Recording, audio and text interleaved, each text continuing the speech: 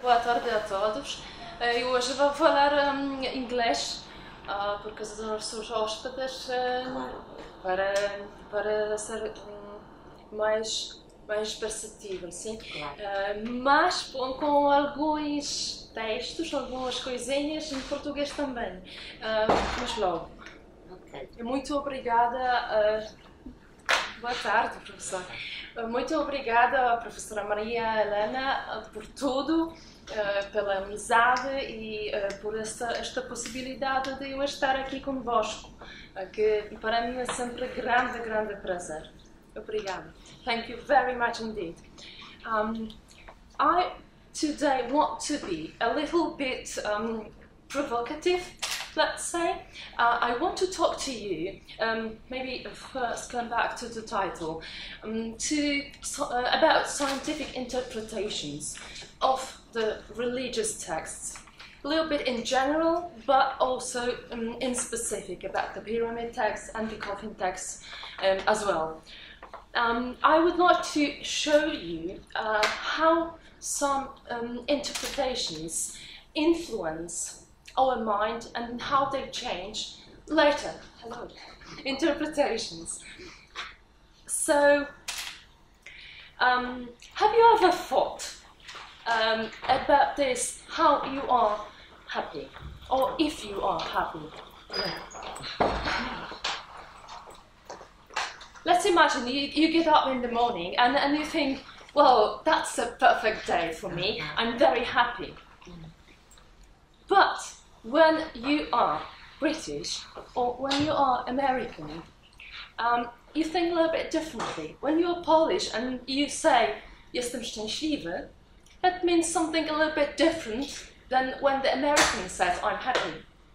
I'm happy about this drink. The Polish wouldn't say so. There is an, a, a German saying, I am happy, aber glücklich bin ich nicht. That means, in a sense of um, being happy, I am happy, but profoundly, I am not happy. Um, I know it, it's it's being a little bit tricky at the moment, but, I will try to explain to you how analyzing the language itself can change perception. If you are a person from the cultural group a person using the language as your native language or from outside.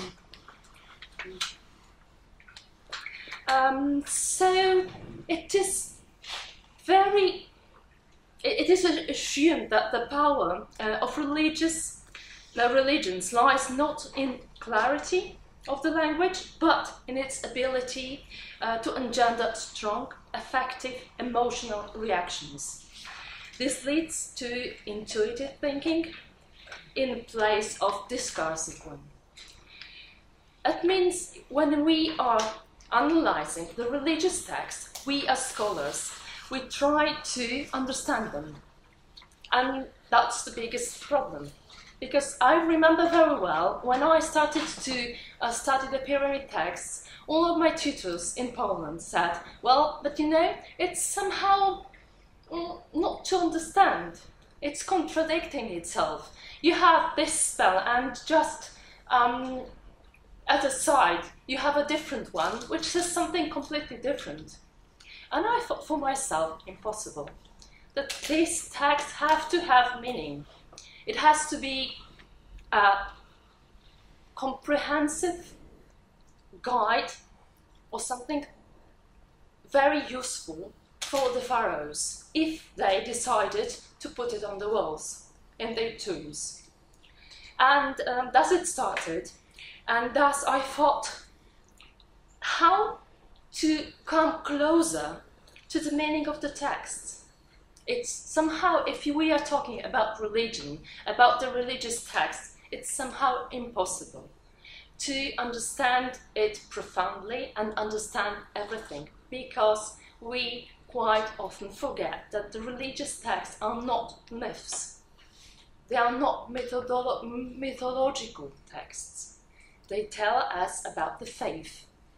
They'll tell us this what was really believed by the ancient Egyptians. Of course, we can reverse it and we can say, okay, there was a, a council of um, priests, they created the text, they put it on the wall. Well, but that's another perspective. But when we start to study, let's say, the Bible, for the believers, these texts are true. At least to some extent, you have relation of faith, of religion. That had to be the case of the pyramid text as well.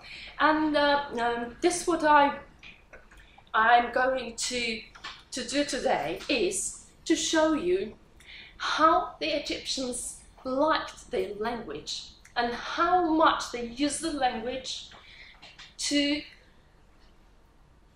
to achieve their aims and somehow to play with the reader as well. It is presumed that the religious texts, first of all the pyramid texts, were only for the king and with the exception of the queens. Um, so that means that they were written on the walls for them. Perhaps to be, read, uh, to be read um, during funeral or after funeral during rituals, but we don't know that. Nobody informed us about it, uh, so we can only suppose that it was so. Uh, we have some assumptions, some suggestions in the text which give us um, instructions what to do and how to do. But some of the texts uh, were composed probably just for the pharaoh and um, the queen. And I believe that they were to be read, read out, read loud. Um, why? I hope to show you in a minute. Um, just please, uh, um, because I'm speaking uh, not to not only to Egyptologists, I have I will try um, to be as clear as possible. But um, do, do I have a point? If not, I will try to do it again. Yeah, yeah. Yeah, it's visible. Okay, uh, so here you have marked some Egyptian words which are different. This one and this one, for example, we, we basically don't know how ancient Egyptian was pronounced. We know something, but it's still uh, very uncertain. And but even though we don't know, we have we, and when we try to read it in such a way Egyptologists do, um, we, we find very well planned, to my mind, sound effects. This is one of the examples. Um, there are even better ones, but much more difficult to, uh, to explain and, and to show uh, to people who cannot read um, hieroglyphs because they are based uh, really on, on onomatopoeic effects. Um, and these are um, serpent spells um, that means spells against serpents, uh, space, uh, spells Mm, again, one more thing to explain. Spell in sense of enchanting reality. Spell not in a magical sense. Because the pyramid texts, the religious texts, are not magical texts. There are perhaps some elements of magic in it, but they are not magical in its sense. They are religious, which is, uh, for me, mm, very different. So here you have Ka, and you have Ka and Ka and Ka and Ka and Ka again. For such a short piece of text, you have this Ka repeated, and but it has different meanings, as you can see. Oh, Atum. Atum is creator God, who is coming into being. When you became high as the mount, Ka, you rose up as the Benben in the mansion of the bird Benu in Yunu. You sneezed Shu, you spat out of snoot, and you set your arms about them as the arms of Ka. That your essence is again Ka, might be in them. O Atum, set your arms, Ka, about the king, about this construction, and about this pyramid as the arms of Ka again, that the king's essence, it's again Ka in Egyptian, may be in it, enduring forever and ever. That I'm absolutely sure that it was not by accident to put all of those Ka, even though some of them are different words and mean different things, but um, this play on words, this play on sounds um, was was uh, well uh, planned, well thought by the Egyptians. And unfortunately, I have, even though it was installed, uh, I don't have the transliteration font here, but this is a very good example how sometimes um, technical problems can change our interpretations uh, of the sources. Um, well, um, it, it, was anyway just to show you um, different way of our Egyptological interpretation. Because we have uh, we have hieroglyphs, then we prepare transliteration, then we translate, and still you have lots of steps of interpreting the text. Um, that's why I uh, always say to my students how important it is to translate the text themselves. Mm-hmm. Because even a word, one word changed in your translation can change the understanding. And when we think about the ancient Egyptians, I would like to mm, not only to show you but to emphasize as well how they loved life. We almost always think about the Egyptians as about the culture of death uh, because we associate it with the pyramids, with the um, tombs with, of any kind, with um, um, mummies, with um, um, every sort of things related to death, um, death on the Nile or whatever. but they themselves did it all to to live, to endure forever and ever. As you can see, even in the pyramid texts, um, there are fragments like, as this one. How delightfully to see, how agreeably to behold, says Isis. When this god ascends to the sky, his power upon him, his terror around him, his magic at his feet. It shall be done for him by Atum, just as he used to do. The gods who are in the sky have been brought to him, the gods who are on earth have assembled for him, so they may place their hands under him, having made a ladder for him, that he may ascend on it to the sky. The doors of the sky are opened for him, the doors of the starry firmament are thrown open for him. What does it mean then? Is it just an image? But did they believe in it? I believe so. So if they say, if they pronounce, if they somehow influence reality, they pronounce that having made a ladder means really creating the ladder in this religious sense. I don't want to say that in all Egyptian texts uh, that function, but in religious texts it had to to make them real. And as you can see in different examples, in, in the pyramid text, we can observe um, at least some kinds of, um, let's say, religious style and some uh, um, grammatical as well as uh, stylistic changes to the language. And when we are studying the religious text, normally we study um, conventionalism, traditionalism, and let's say some novelty. If when we try to compare the pyramid text and the coffin texts, the most um, common um, observation is that the pyramid texts, as the first texts, are more positive, and then the coffin texts are more negative in their message. But um, I was talking about it um, um, last week in Krakow um, at the conference, and I hope um, I showed that this is not true. both of them change the recipient because the pyramid texts were written for the king or for the queens, and the coffin texts were much more open, were um, accessible for the elite. And then something changed for sure, but not perhaps so much as we tend to think.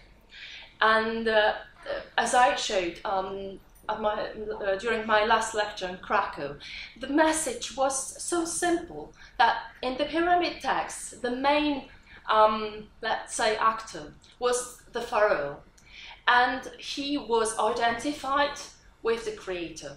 But in the coffin text, as I will show you in a minute, something was a little bit different. But here you see ways of this, what I call religious reality creation. That means you can use different moods to create this reality. It, as here, it can be just a description, description of the reality, and then I will show you different ones. For they have seen the king appearing in power, as the God who lives on their father, on his fathers, and feeds on his mothers. The king is a master of dignitary, whose mother does not know his name. The glory of the king is in the sky. His power is in the horizon. Like his father, Atum, who gave him birth, uh, who gave birth to him, although he gave birth to the king. The king is mightier than he. So this is one of the fragments of very famous cannibalistic um, hymn from the pyramid texts. And in the very beginning, it, it was interpreted as uh, the oldest, the most ancient part of the pyramid text because it contains uh, fragments where it is said about the pharaoh that he eats piece by piece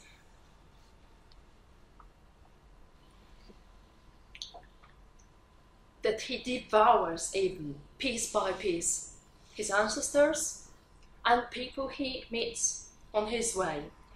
Unas is the great power who has power over the powers. Unas is the sacred image, who is most sacred of the sacred images. Whomsoever he finds in his way, he will devour piece by piece. Continuity is the lifetime of Unas. Everlastingness is his limit. In this his prerogative of if he likes, he does. If he dislikes, he does not, which is at the limits of the akhet forever and ever. And this is somehow the concept we were discussing yesterday at a dinner with Helen Strudwick, and I uh, totally agree that perhaps we are not understanding this concept of continuity and everlastingness. You can call it differently, uh, you, you can speak um, differently about it, but yesterday um, Helen said that perhaps when we are in a circular eternity, and if the, um, if, if the way is long enough, it's linear because we don't see the curve. So uh, it was just the same way of perceiving different things, um, different things actually, or the same thing, because people who lived on Earth, they had this linear perception, which was somehow in circular eternity. It was inside of it. But here you have very tricky expressions. Okay, I said that the religious texts were to create reality, yes? So what does it mean? That the Pharaoh really met people on his way and he was devouring them. He was eating them. and that makes the text very old because somehow depicts the very ancient um, practices, rituals, cannibal rituals of the Egyptians? Not necessarily, of course. Even if it is creating a reality, it, it, it does it in a figurative way, in a symbolic way. That means it may be the description of the power of the king, of the king who, as it was said before, is mightier than his mother and his father. It's even said that he's older than his mother and father because he was created for a time. He was created before anything else existed. And here you have a different, um, different um, means to help realize or to create this reality. As I said, it could be descriptions, descriptions of the reality of, um, of the persona involved in the scenes and this what was happening. But sometimes, um, or in, a, um, in other words, it was very often that in the pyramid text there, were, uh, there was used imperative mode or to call them injunctions, commands to do something. And th these were commands, injunctions directed to the gods. So normally the Egyptians didn't ask, didn't pray in such a way um, we do. So please, God, give me this and that. They rather commanded, Atum, raise this illness up to you. Enclose him within your embrace, for he is your son of your body forever. It could be imperative mood or it could be usivus, which is quite difficult. For example, in Polish, actually, it's quite difficult to express both of them and to, to express differences between them. But there is a slight difference between um, imperative mood and the usivus, which is much more, um, it, which is a little bit less um, imperative um, in its sense. And again, um, this very spell was interpreted as a kind of um, comparison between the pharaoh, the king, and the creator Atum. Because it says, I will come back to, to the hieroglyphs um, in a minute. It says, O Unas, it is not that, that, sorry, but a life that you have gone away Sit upon the throne of Osiris. Your scepter Abba is in your hand. May you give orders to the living. Nekus and your scepter, um, I'm sorry, it, it again, um, something did not appear. Uh, this, this word uh, should be written uh, as this one, mm -hmm. if I, I'm sorry. Um, because this is again just a transcription from, from the Egyptian. Uh, Nekas and your scepter Nahbet are in your hand, so give orders to those whose seats are hidden. Your arms are those of Atum, your shoulders are those of Atum, your belly is that of Atum, your back is that of Atum, your hindparts are those of Atum, your legs are those of Atum, your face is that of a jackal. Let the mounts of Horus serve you. Let the mounts of Set serve you. So as I said before, this text was translated uh, before. It was translated, uh, your arms are like Atum or like those of Atum. What, what makes difference is this little M which in Egyptian is called M of predication, and it was specifically used not to compare, but to identify. In religious texts, always it is used to identify one thing with the another.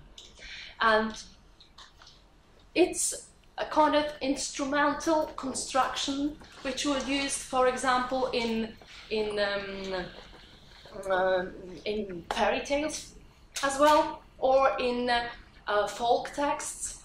For example, when I speak now, I, as a lecturer, think this and that, but I, as mother, can think something differently, can figure something differently. I can teach something, but I then in reality I can behave differently. I am a little bit different person in roles I assume during my life. And I believe that those stages were very important uh, for the king. He assumed different forms, different manifestations via through this identification with different gods. First, it was the identification with the creator, but it goes even further because the Egyptians, um, again, this is an example of um, of um, injunction directed to the king. It it is enough to say to the king, "Raise yourself, O king, for you have not died." And this starts the procedure. He commands new life, starts new life. And so coming back, uh, that is what, what, I have said before. Um, it goes further because the pharaoh, who is identified with um, with the creator, and I um, I owe you one more explanation, perhaps, because you have here a pharaoh who has all body parts, even the hind parts, which seems quite important in this sense, identified with the body parts of Atum. So, well, we could assume he becomes Atum, but then he has a jackal face. What is it? It, it seems so strange to us to understand that, to perceive how it functioned. But then, of course, jackal was very often associated with the god Anubis, and uh, many scholars, or almost all scholars, understood it as somehow equaling the pharaoh with the creator and Anubis. But when I analyzed or all of the fragments in the pyramid texts which identify body of the king with the body of Atum, then the face is always of jackal. It, here you have just one sign. And normally, this sign of a lying um, hound-like animal is associated with jackal. But okay, it would be, it could be um, probable or not. But in other cases, always it is written phonetically. It's written Zab, which means in Egyptian jackal. And thus you see how um, people, if we do not have possibility to compare, to analyze all of the um, all of the uh, fragments associated with this what we are studying, how much we change our minds you can say, okay, but Jackal and Anubis, who has a Jackal face, could be the same. Could be, but not necessarily has to be. Because Jackal has those aspects of being dangerous, of being the animal which, um, which, uh, which should be avoided, which should be avoided especially in the afterlife. What does it mean? Again, some scholars interpreted this fragment that the um, king now becomes a human with a mask of a jackal. But other texts, um, in the coffin text, you have somehow explained that the king, uh, or in the coffin, in the case of the coffin text, it's not the king anymore. Um, it can be the king, but not only. Uh, so the deceased becomes a God in his power to create and to to destroy.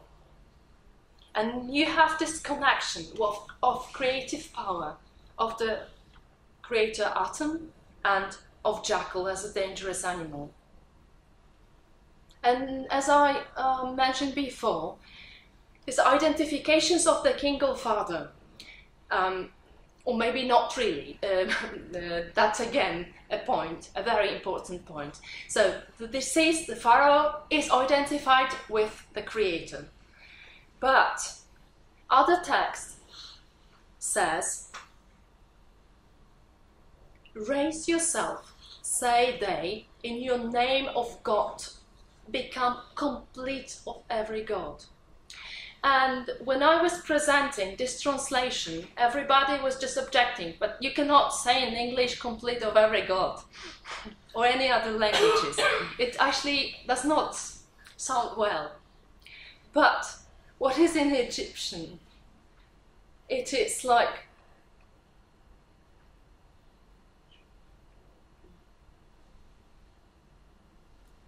Uh, some of the scholars translated it as to become Atum,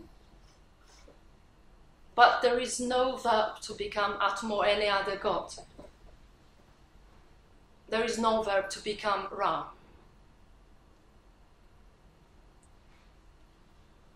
And then, if you try to understand what follows, it explains why you are complete of every god, of every characteristic other gods have. Your head is that of Horus of the Duat, O imperishable. Your face is that of Henty-Irti, O imperishable. Your ears are those of the twins of Atum, O imperishable. Your eyes are those of the twins of Atum, O imperishable. Your nose is that of the jackal, O imperishable. Your teeth are those of Soptu, O oh, imperishable. Your arms are those of Hap and Duamutef, which you need to ascend to the sky, and you shall ascend. So you see, if you have all those parts, you need them. You need them to do a thing, to to perform an action, and you do, because you are complete. You are as complete as the Creator, which has in himself all the necessary capacities, all the characteristics to your legs are Imsati and Kebek which you need to descend to the lower sky, and you shall descend. All your members are the twins of Atum, O imperishable, and even more, you shall not perish, and your ka shall not perish. You are gone. Again, we come back to the ka I was talking about um, before. Ka, what is ka? Ka is a part of the, of the soul. And again, it's not a very mm, fortunate um, description because for the Egyptians, the spiritual part of, of um, human being um, consisted of several parts, like Ba, which was which was imagined as a bird, like um, Akh, which was much more spiritual and dangerous entity, and Ka, which um, sometimes is translated as being a, um, a, kind of a twin of a um, deceased, but for me it is the essence of a human being which was transmitted by the gods to the king and then by parents to their children. That is, if, for example, the god was embracing, that is, doing ka, to, let's say, the pharaoh, he was kaing his ka to, um, to the pharaoh. And this is what the pyramid texts say. O Osiris named himself Meren Ra. You are the essence, you are the ka of all the gods. And you see, that's it. What we have, the creator, with such a funny face, um, but somehow it is this what the Creator has in Himself, what He comprises in Himself. Different characteristics, different capacities, different powers to achieve the aim. But to achieve those aims, the king, the pharaoh, has to become the creator himself. And once again, just to show you quickly um, how the pyramid texts were constructing this reality. So if you say a stairway to the sky is set up for him, that he may mount up, uh, my, sorry, uh, may mount upon it to the sky, and he will ascend on the smoke of the great censing. This king will fly up as a bird and alight as a beetle. He does fly up as a bird and alights, alights as a beetle on the empty throne which is in your bar or run. So description, again description of the reality and it becomes somehow true. Or you have may you become, it is jussive, may you come into being. It's not just come into being, imperative, but may you come into being with your father Atum. May you rise together with your father Atum. But again, this is our interpretation, this is our translation, and we, we cannot be sure if it was imperative or not.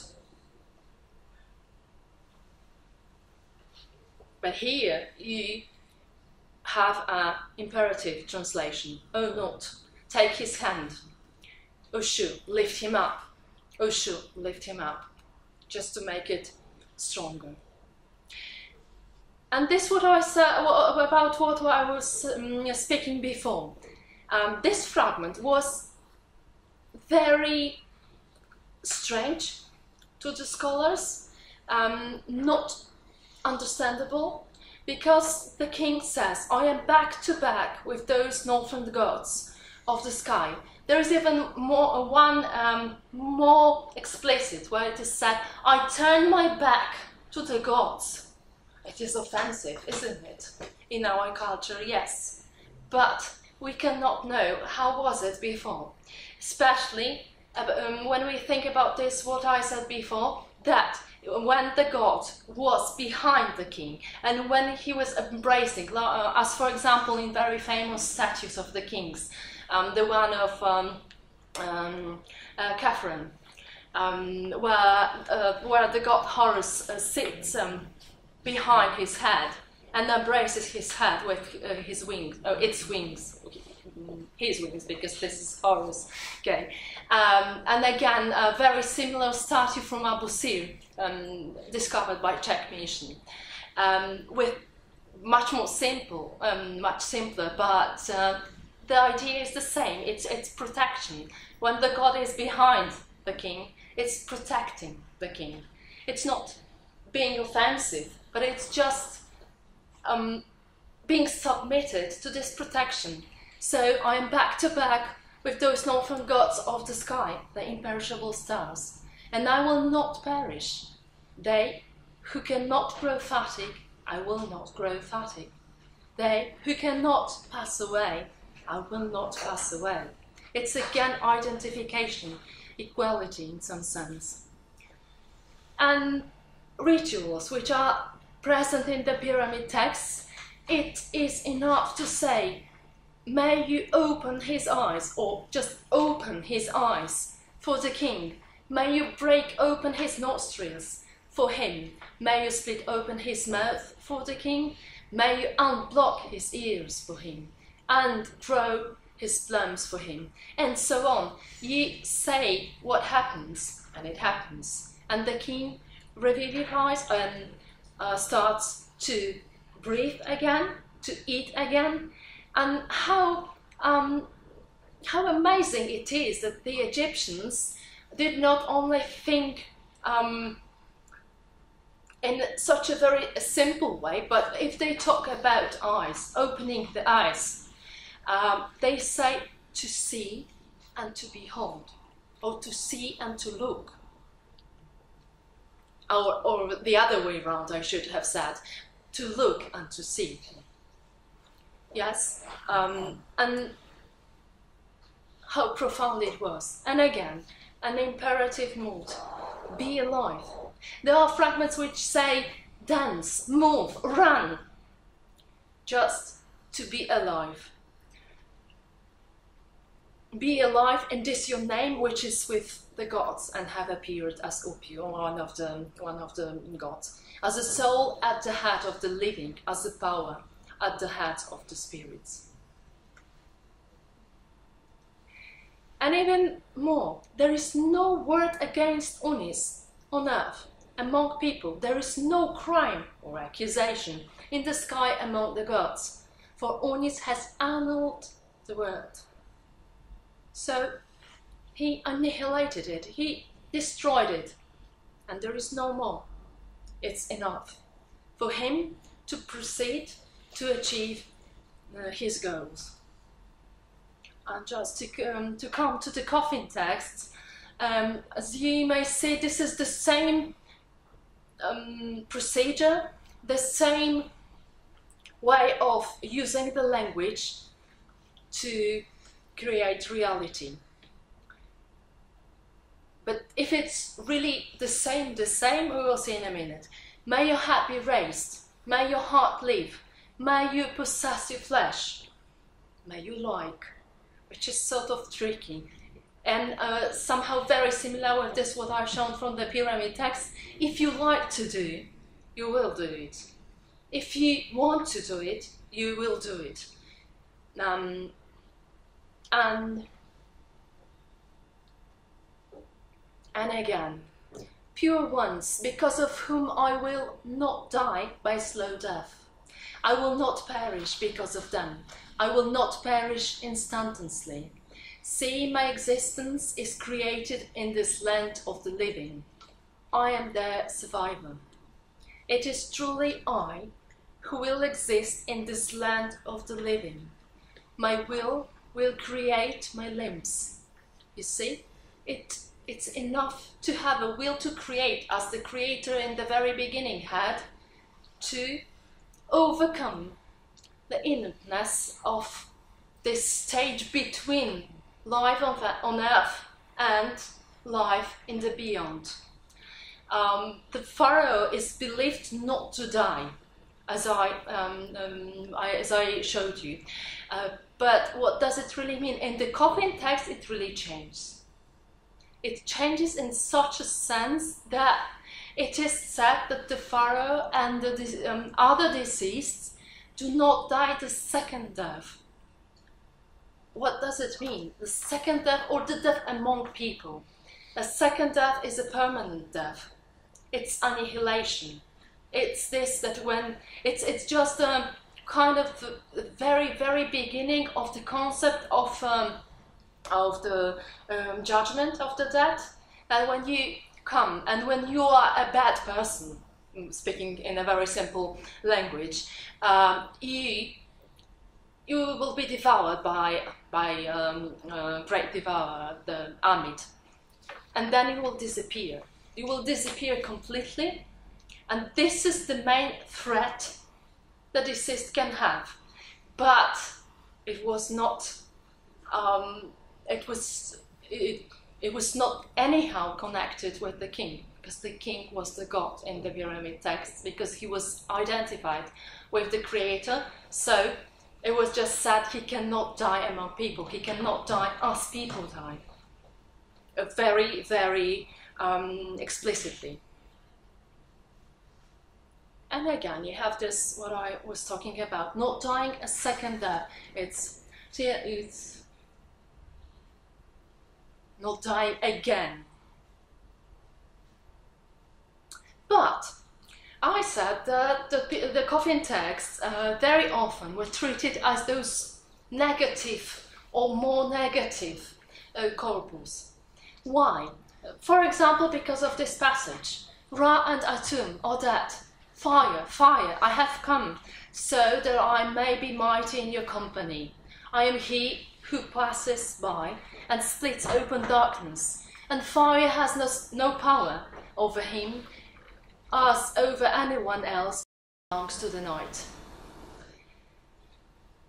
And yes, it is somehow true that um, Atum is less active in the Coffin text. It, he, this spell and other uh, where it is said that Atum lies and his son Shu, or the king as Shu, acts, does different or performs different activities to maintain life and even maintain life of Atum. It's not said so explicitly, but uh, some scholars thought it was so. That Atum is dead, and Shu, as his son, is trying to revivify him or just to continue um, somehow to make him come back.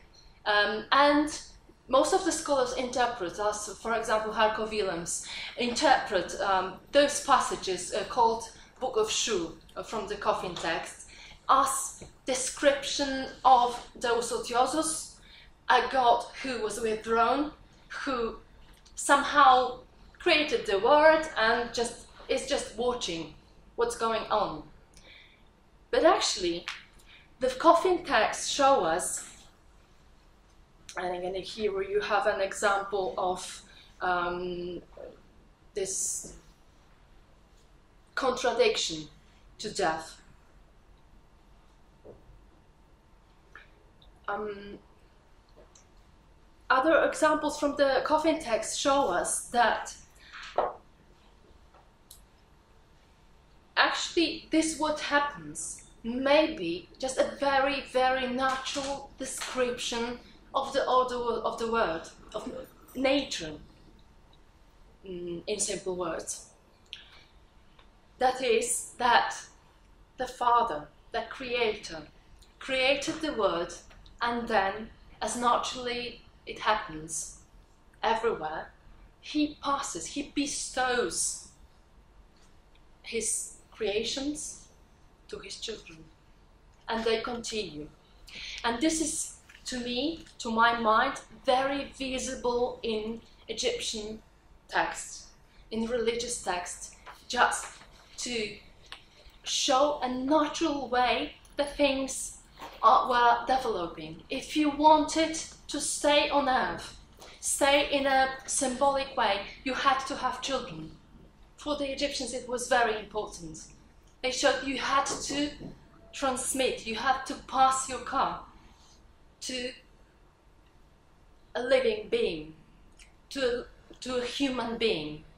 Because, okay, you could create, you could ask to build a tomb, you could write the text, but this could be destroyed. But in children, you stay forever and ever with your ka.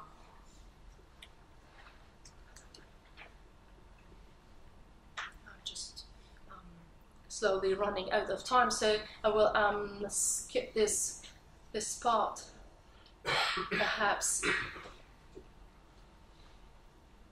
and just showing you how um, this perhaps was functioning. I throve. I came into being before the sky was fashioned, and it gives me respect before the earth was fashioned, and it rejoices at me while I look for your saliva and your spittle. They are Shu and Tefnut. And this again, you have here uh, a reference to the creation of the world by Atum, and these are coffin texts. So it shows the natural way of, of procedure. But the deceased, even though he is not only the king anymore, because the coffin texts were written not only for the pharaohs, but even though the deceased becomes Atum, and he says, I have become Atum, it is well with me as Horus, and it is well with every god of whom I have experience. You see how you have confirmation of this being essence of every god. If we do not understand this being complete of every god, if we do not study the whole context, it appears something very, very strange, at least. I have become Atum. It is well with me as Horus. You see?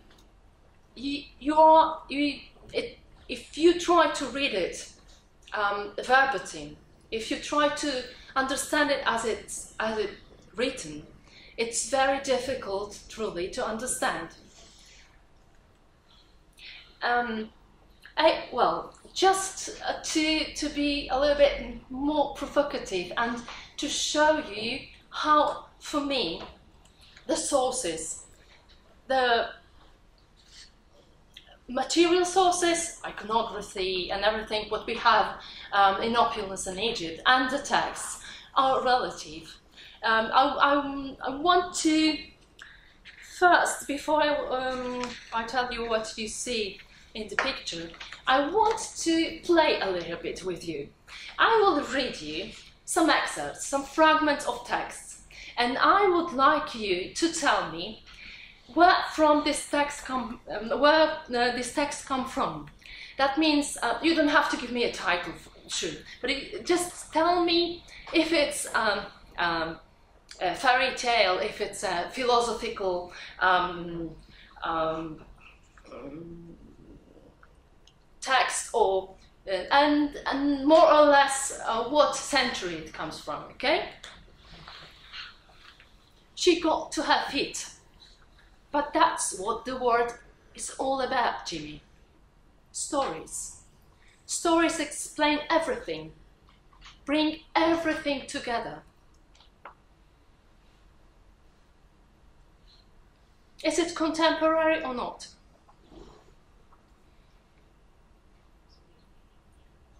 Yes or not? Yeah. Yes. What kind of story is it? Do you know? I think I know. Sorry? I think I know, but I'm not sure.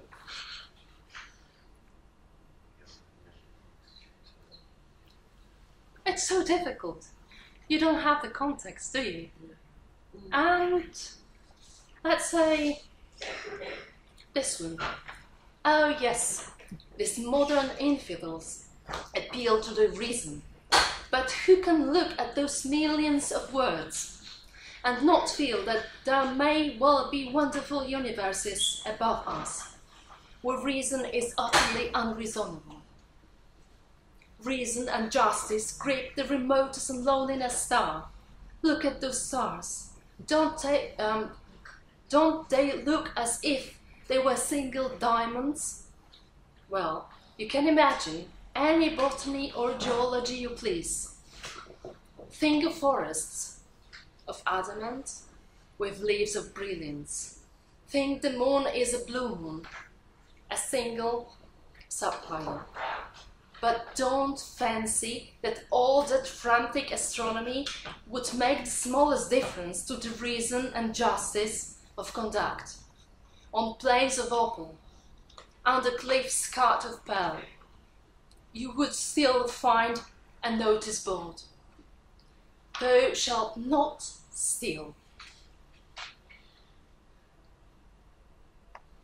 Is it contemporary? Any guesses? Please. what kind of text is it? It's an adventure story or could be, or not. Philosophical, perhaps. But actually, this is a detective story, a crime story.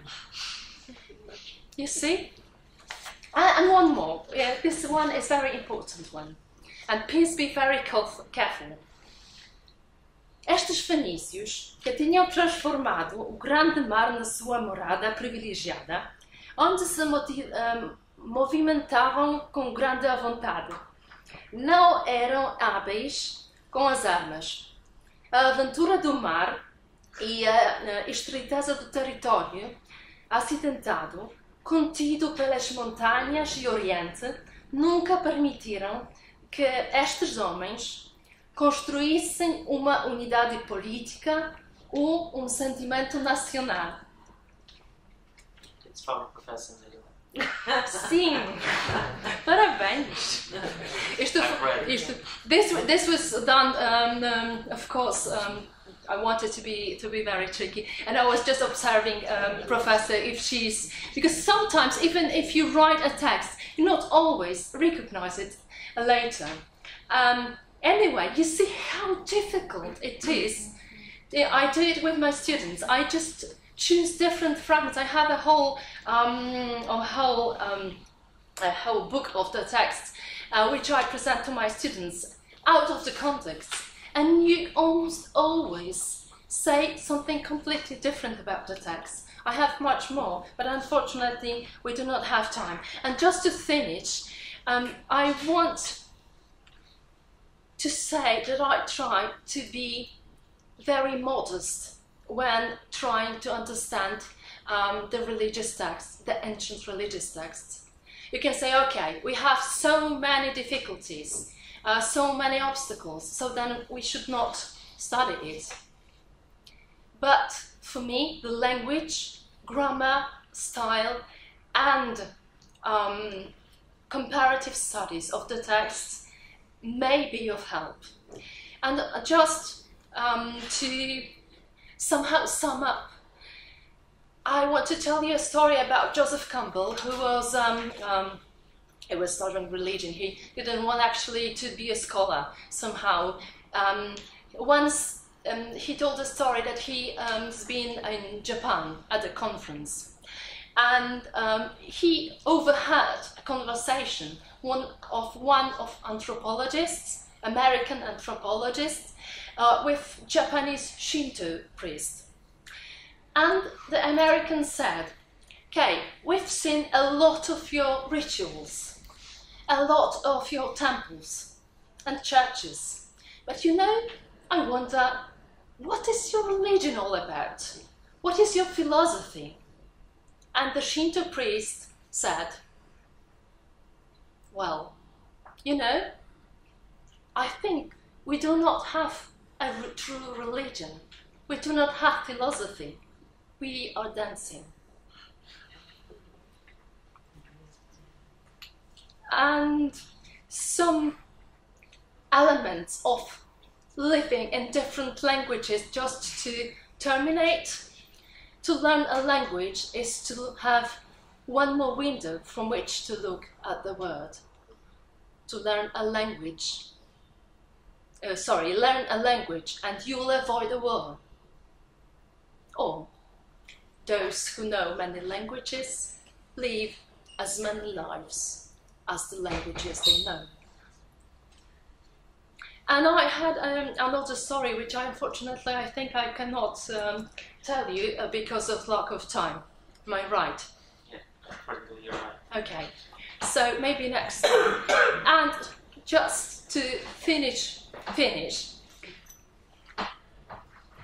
Many of you know the story about one of Egyptologists who um, finally um, after years of studying Egyptian texts, um, found himself in the temple of Amun uh, in Karnak.